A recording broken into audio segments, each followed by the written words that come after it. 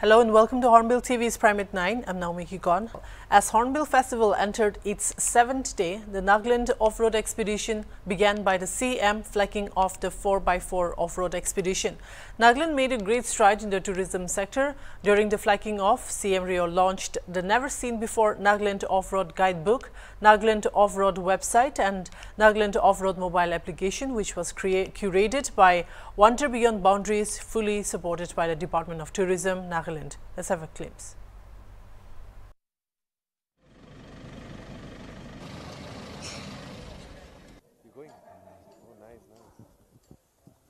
Uh, at the outset, uh, on behalf of the Department of Tourism, I would like to thank the Honorable CM, Honorable Advisor, uh, senior officers here for making time for this book and app and website launch, sir. So, uh, uh, the participants we have today are mostly uh, media persons from all over the country, sir. We have representatives from Hindustan Times, Indian Express, uh, Outlook Traveler, and a couple of uh, freelancers who have who write for well-known publication houses. So we have taken the, and we have of course Nidhi and her team, WBB, who curated the, the, this entire uh, project for us, sir. So I have taken the liberty of making the order of program for this uh, launch program, sir. when we are launching the novel project called Nagaland Off-Road. I want to first commend the core team present here today who have shown great tenacity amidst many situations of adversity. I would also like to acknowledge the important work of our partners, Wander Beyond Boundaries, for investing time, effort, and hard work this entire year and bringing us together to this stage well in time when we can proudly announce the fruition of our labor in the form of Nagaland off-road and tangible outcome in the shape of the interactive and very impressive first of its kind off-roading app and the diligent and robust information powerhouse guidebook. Thank you for all your hard work behind the scenes. with many ideas in the head. That were just ideas at that point. But post that, uh, today I've rolled in with a convoy of 10 for you, sir. And it gives me, eh, with extreme humility, I'd like to also take you through some of the journey that we've, the, the journey that we've been through in the last couple of months. Um, it's been 10 months and 7 days, sir, since, we since I made that presentation right from there, telling you about Nagaland off-road and what we can achieve through the medium of off-road based tourism. And so in 10 months and 7 days, um, what I have today for you is really humbling. And this wouldn't have been possible, of course, without a tacit team behind me and support that one has received very graciously from Commissioner Secretary Tourism and the Honorable Advisor, who really led the way, sir, in, in making this happen by seeing that all of our hurdles on the other end, the hurdles on this on in the field, of course, is something we were geared for and anticipated. But um, but I'm really grateful for your for their support, sir. But in this entire journey from these two points, I think what has really helped us and what has egged us on is just the people we've met in the remote villages, sir. They are the ones who have kept us committed to this project, to be very honest with you. There were days we'd be soaked in the rain, drenched in slush, not eaten all day, and we would be welcomed by these people as if we were their own and we had known them, with no gain. And honestly, sir, I'd like to salute the people of Nagaland, especially in the remote areas, for having gone that extra mile to make Nagaland off road happen, sir.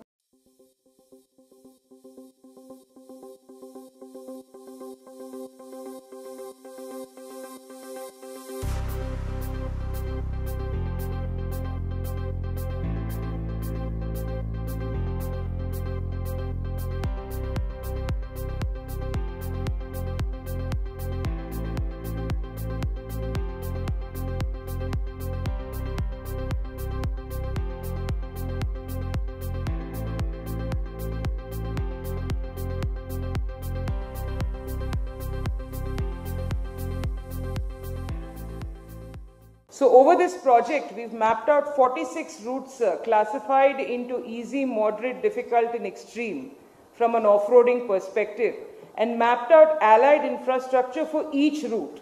The idea is to be able to enable travelers like me and them and everyone who's interested in roughing it out to be able to create their own self-drive trip and come to Nagaland.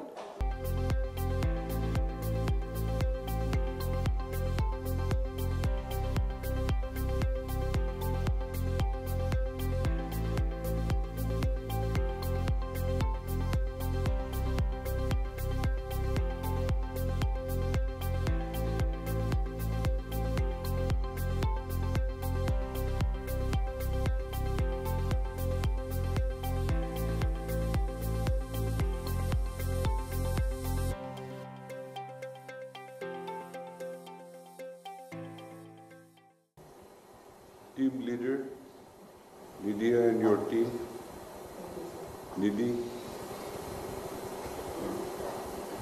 At- At the outset, I would like to congratulate Nidhi and team for taking up the challenge and gone to the extent of now launching the website and also your ads. When you and your team first met me, I was wondering whether it will be possible or not. And uh, I feel fascinated. The word off-road, because in Nagaland, many part of our state has bad and very bad roads. And some are not even connected. So like today you have Hornbill in uh, Kohima. The tribes, they have their tribal festivals in their respective district headquarters, all their centers. And that's how we call it Nagaland, the land of festivals. Because everywhere, every tribe, they have so many tribal festivals. And that culmination bring everybody together to the Hornbill Festival. By the way, you have taken everything very enthusiastically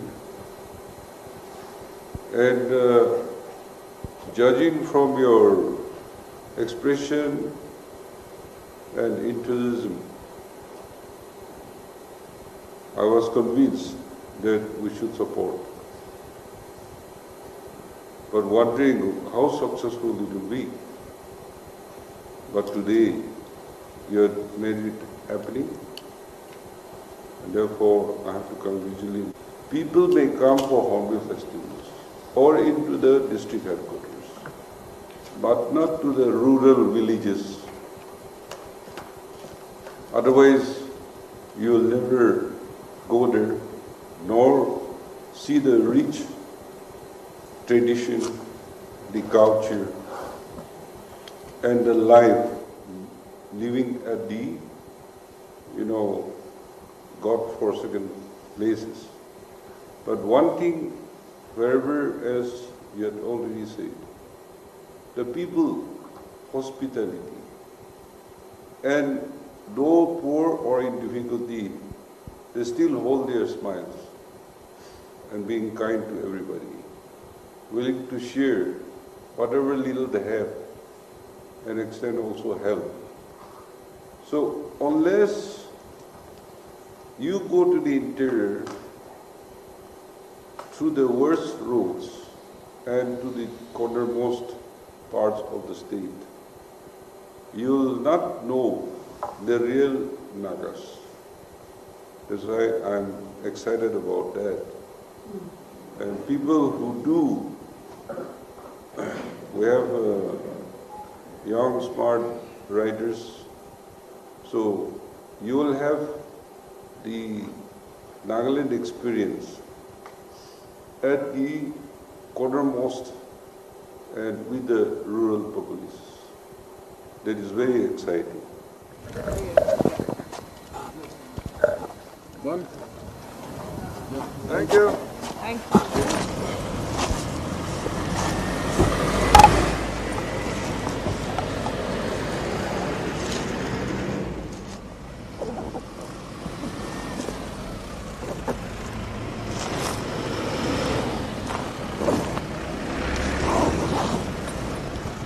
The reports from Tourism Department, the day-wise tourist statistics of Hornbill Festival shows a total of 14,482 tourists on day 1, 11,095 tourists on day 2, 12,005 on day 3, 19,393 on day 4, 9,158 on day 5, 10,453 on day 6 and 11,569 tourists on day 7.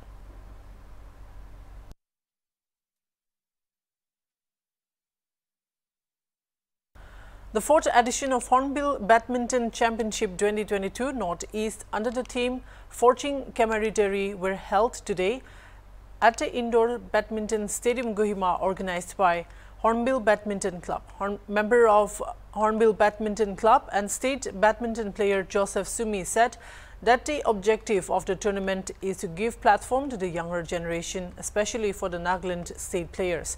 Sumi also informed that in the next edition, the Hornbill Badminton Championship will be organized by inviting lead players from India by organizing all India level in a bigger way. Sumi also requested the state government to include the Hornbill Badminton Championship as part of the Hornbill program. The Hornbill Badminton Championship participants were from Arunachal Pradesh, Assam, Manipur and Nagaland. While the matches were played in seven categories under 35 plus veterans doubles, mixed doubles, amateur men's doubles, women single, men's single, junior boys and men's doubles with total prize money of 3 lakhs. And the Open Championship for Northeast are men's single, women's single and mixed doubles and the matches for junior boys were only for Nagaland.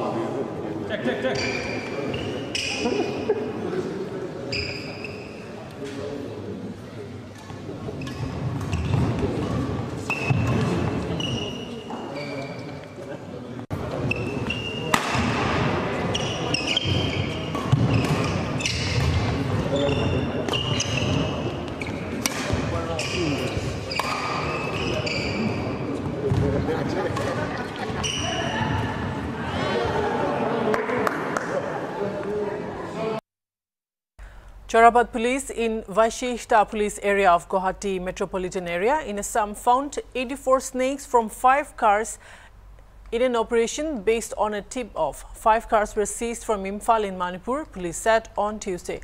84 snakes of various species were recovered from the cars.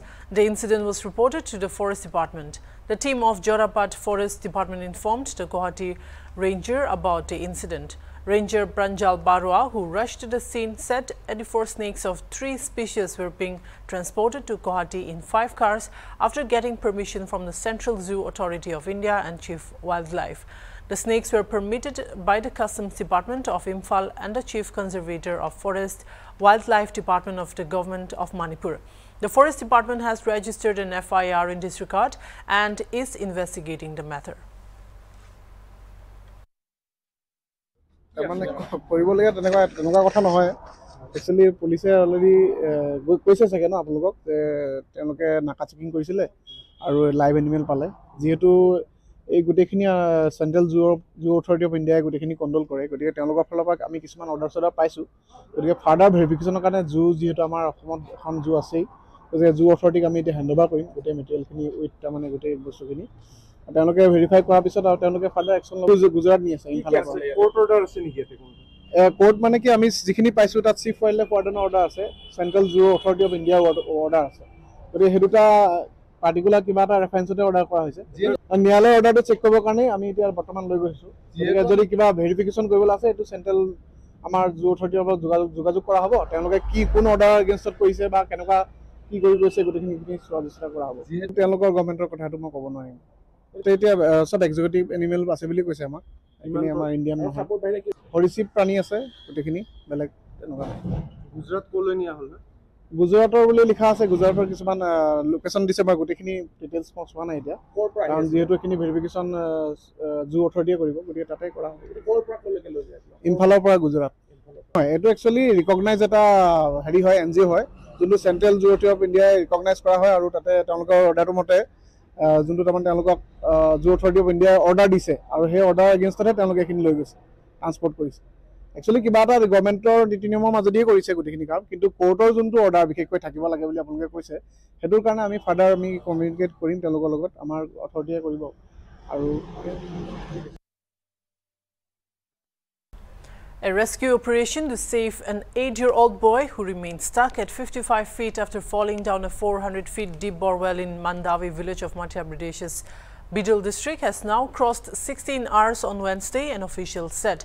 Betul Additional District Magistrate Shyamindra Jaiswal said the rescue operations are taking more time than expected because there are stones. The authorities have called in a breaker machine at night to break the stones and JCB and Poclain machines are also being used, the official said. The rescue teams have reached a depth of over 40 feet so far and vertical digging remains, he said. A medical team is also present at the spot, said Jaiswal about the Tuesday evening incident. The State Disaster Response Force, Home Guard and police personnel were present at the spot as every effort to save the child continued on Wednesday. Eight-year-old boy Tanmay Sahu fell into the borewell while playing at about 5 p.m. on Tuesday. Tanmay's father, Sunil Sahu, said that he was playing in the farm. When he went to another field where the borewell was open, Tanmay fell into it. Operation जारी है और अ, मशीनें जो हैं लगातार रात से काम कर रही हैं और अ, जो हमारा टारगेट है 45 फीट हमको अ, ड्रिल करना है और अ, इसमें तकरीबन 30 फीट हम लोग कर चुके हैं बच्चे की स्थिति अभी स्टेबल है और जैसे कल शाम को थी कैमरा डाल के हम लोगों ने देखा था और अभी भी कैमरा डाल के निरंतर देखा जा रहा है। तो अभी तो बच्चे की स्थिति स्टेबल है। अभी चार से पाँच घंटे और लगेंगे। आ, इसमें जो खेत मालिक है उसके ऊपर एफआईआर की कार्रवाई होगी क्योंकि उनकी लापरवाही के कारण इतनी बड़ी घटना घटी है। तो उस पर case register A suspected blast was reported near the Sidhra Bridge checking point in Jammu on Tuesday evening, said police. The police team is conducting a thorough search on the spot to verify the matter. Today, late evening, a blast sound like sound was heard near the Sidhra Bridge checking point, said Chandan Kohli, senior superintendent of police, Jammu. A thorough search is being carried out on the spot to verify the matter and any further detail shall be shared accordingly, said Kohli. That's all we have for now. For more news and updates, keep watching Hornbill TV.